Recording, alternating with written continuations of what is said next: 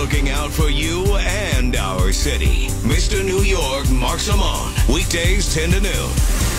710 WOR, the voice of New York. An iHeart radio station. It's 75 degrees.